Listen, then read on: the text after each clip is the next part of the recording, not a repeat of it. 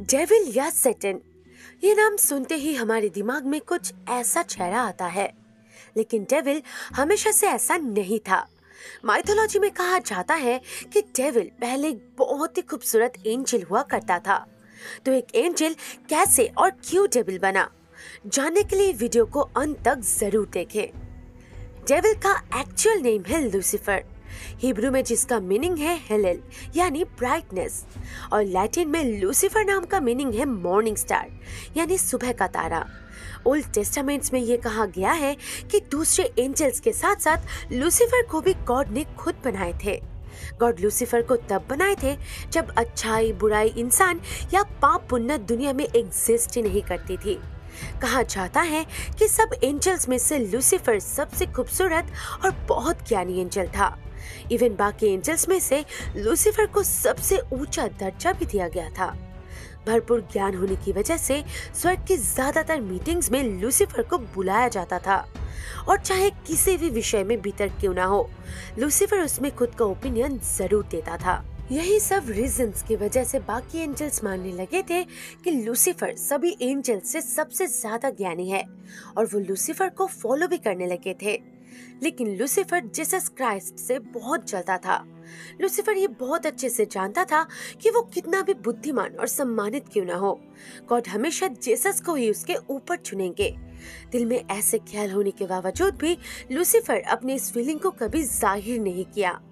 Even जब दूसरे angels Jesus के सामने झुक के प्रणाम करते थे, तब लूसीफर भी उनको फॉलो करता था। भले ही जीसस के लिए उसके हृदय प्योर नहीं था। बहुत कोशिश करने के बाद भी लूसीफर इस चीज़ को एक्सेप्ट नहीं कर पाया।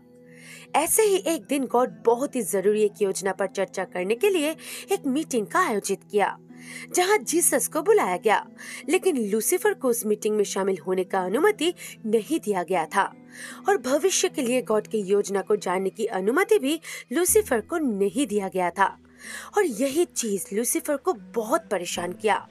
क्योंकि लूसीफर ने सोचा था कि वो स्वर्ग में सबसे पसंदीदा था। इसलिए वो खुद को भगवान की तरह महत्वपूर्ण बनाना चाहता था। वो ये तक भूल गया था कि वो खुद भगवान का बनाया हुआ एक एंजल ही था। लूसीफर ये रिजेक्शन बर्दाश्त नहीं कर पाया।